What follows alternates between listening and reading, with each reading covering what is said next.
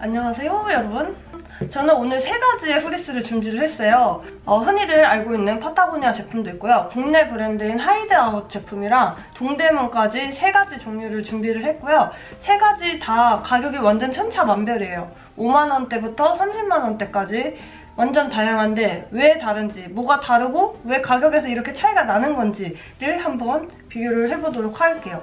여기 뒤로 보이는 이 짧은 게 파타고니아에서 레트로라고 굉장히 유명한 디자인이에요. 그 해외 정가는 25만 원이고요. 한국에서 살려면 한 30만 원 정도 주고서도 잘 못 구해요. 왜냐면은 구매를 원하시는 분들이 되게 많은데 수량이 한정되어 있다 보니까 구하기가 어려운 제품이 되어버렸어요. 저는 미국 시애틀에서 파타고니아 매장에서 정말 운 좋게 한 장 남아있는 거를 사게 됐어요. 파타고니아는 미국의 브랜드 제품이고요. 아웃도어 브랜드 제품이에요. 그래서 뭐 하이킹이라든지 스키, 뭐 서핑, 스노보드 그렇게 다양한 스포츠 아웃도어 제품을 만드는 거고 여기에 또 하나의 특징이 이 브랜드의 제품을 사람들은 그냥 약간 평상복, 일상복으로 많이 입는다. 다른 제품이랑 제일 다른 거는 안감이 달라요. 안감이 이런 제품입니다. 한겨울에 이거를 아우터로 입어도 될 만큼 발열 효과가 있습니다. 안에서 되게 따뜻한 온기가 맴도는 느낌이라서 가을에 이거를 걸쳐주면 되게 더워요. 그래서 오히려 겨울에 이거를 그냥 아우터로 입어도 될 정도로 발열 효과가 좋은 그런 옷입니다. 스몰 사이즈를 입고 있는 건데요. 팔 부분이 많이 길어서 이렇게 하면 손이 가려서 보이지 않습니다. 그리고 요즘 들어서는 이 후리스가 엄청나게 대유행이어가지고 롱 후리스가 나왔잖아요. 근데 이 유행을 이끈 그 장본인은 효리네 민박, 효리 언니가 롱 후리스를 입고 나왔어요. 그 롱 후리스에 입고 나온 제품이 바로 여기 뒤에 있는 하이드 아웃 제품입니다. 이거는 롱 후리스이고 뒤집어서 입을 수도 있고 그냥 이렇게 털 쪽으로 입을 수도 있는 리버시블이 되는 그런 롱 후리스예요. 하지만 솔직히 굳이 이렇게 뒤집어서 입을 이유는 없다. 뒤집어서 입어봤는데 굳이 저는 이 디자인이 그렇게 끌리지 않기 때문에 좀 이렇게 뒤집어서 입은 적은 없어요. 그냥 털 쪽으로 입은 게 훨씬 나아 보여서 굳이? 라는 생각으로 굳이?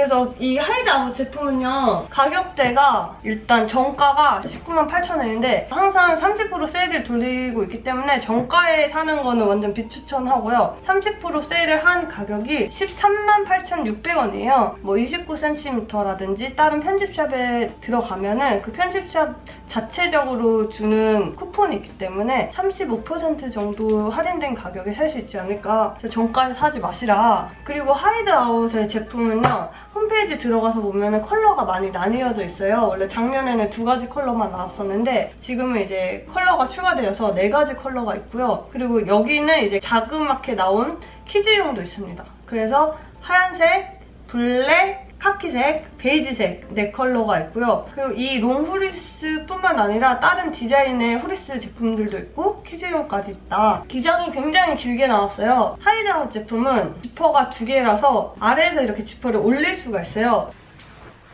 걷기 편하게 바꿀 수가 있죠.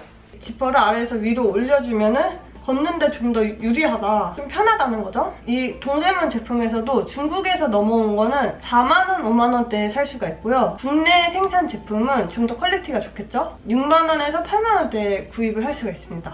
아마 이 제가 가져온 제품은 6만원에서 8만원대에 살 수 있는 제품이에요. 국내 공장에서 만들어진 후리스로 가져왔습니다. 기장은 하이드아웃 제품이랑 되게 비슷해요.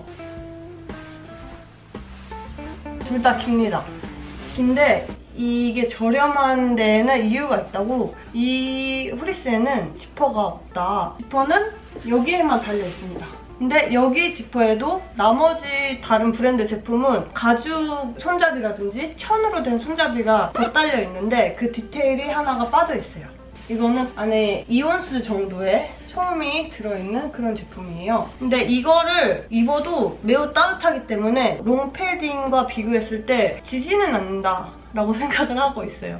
그리고 이게 공장마다 조금 차이가 있겠지만 이거는 리버시블이 되는 롱 후리스는 아닙니다. 하지만 이 브랜드 제품이 아닌 동대문 제품에서도 리버시블이 되는 롱 후리스가 있기는 있어요. 옷을 살 때 동대문 제품도 마찬가지고요. 이렇게 단추 하나가 더 있으면 단가 자체가 올라가고 지퍼가 우리가 알고 있는 제일 유명한 YKK 지퍼라고 있는데 지퍼 중에 좋은 브랜드라고 치면 돼요. 그게 달려있으면 좀 더 단가가 올라가고 그러니까 디테일의 하나 차이가 단가를 결정하는 데 있어서 중요한 요소가 되거든요. 근데 이 동대문의 제품에는 지퍼가 하나 달렸기 때문에 아래에서 위로 올릴 수가 없어요. 그래서 이 구매를 하실 때 과연 무엇을 사야 될까 가성비를 생각을 하신다면 저는 동대문 제품을 추천을 드리고 싶어요. 이게 지퍼가 하나 있고 리버시블이 되지는 않지만 리버시블은 그렇게 크게 메리트가 있지는 않은 것 같아요. 그리고 가격차가 꽤 크게 나기 때문에 그냥 보세 제품을 사는 게 어떤지 외관상으로는 두 가지 제품은 차이가 없어요. 왜냐면 로고 자체도 안 달려있고 로고는 이 여기 주머니 안에 있거든요. 그래서 밖에서 보이는 로고가 없기 때문에 이게 뭐 하이드 아웃인지 동대문 제품인지 알 수는 없어요. 그냥 개인의 만족도의 차이겠죠? 그래서 저는 동대문 제품을 추천을 드리고요. 그 내가 브랜드를 사고 싶어. 돈을 좀 써도 상관없어 싶으면 은 가격대가 완전 차이가 나지만 저는 파타고니아를 추천합니다. 입었을 때 정말 따뜻해요. 이 따뜻함이 이 두 가지 제품을 비교할 수 없을 정도로 정말 안에서 이 열이 후끈후끈 나기 때문에 패딩 대용으로도 괜찮다. 하지만 패딩이 좀 더 따뜻하겠죠? 그리고 파타고니아의 브랜드 자체가 굉장히 친환경적이에요. 굉장히 지구를 사랑을 하는 그런 브랜드입니다. 미국에서는 큰 세일 기간 있잖아요. 그거를 우리가 블랙 프라이데이라고 부르던데 그 기간에 파타고니아가 그 광고 문구를 내세웠어요. 우리의 브랜드 제품을 사지 마세요라고 그런 광고 문구를 내걸었는데 그 의미는 제품 하나를 만들 때 버려지는 천이라든지 이런 게 모두 다 지구가 오염되는 거니까 제품을 사지 말고 있는 옷을 수선해 서 입으라 라는 그런 메시지였거든요. 제품을 이렇게 판매하기 위한 막 모델이 제품을 입고 있고 멋있고 이런 영상을 만들어서 제품을 파는 게 아니라 제품 수선하는 방법이라든지 단축 구멍을 메우는 방법 이런 영상을 만들어서 배포를 하는데 너 새 옷을 사지 말고 있는 옷을 수선해서 입어라. 그거를 활용하는 방법이 좀 더 쿨하다라는 그런 뉘앙스를 이렇게 보여주고 있는 것 같아요. 그래서 소비자들은 오히려 이런 기업의 마인드라든지 이런 철학을 보고서 좀 더 그게 쿨하다 라고 느끼고 있는 게 아닌가. 그래서 파타고니아가 요즘에 인기가 있고 좀 멋있는 브랜드의 이미지를 가지고 있는 게 바로 이런 기업의 정신의 영향을 많이 받지 않았을까? 사람들도 그 영상을 보고 이런 기업에서 하는 행동을 보고 그래 이런 게 쿨한 거야 이런 거를 이렇게 받아들이지 않았나 생각을 하고 있어요.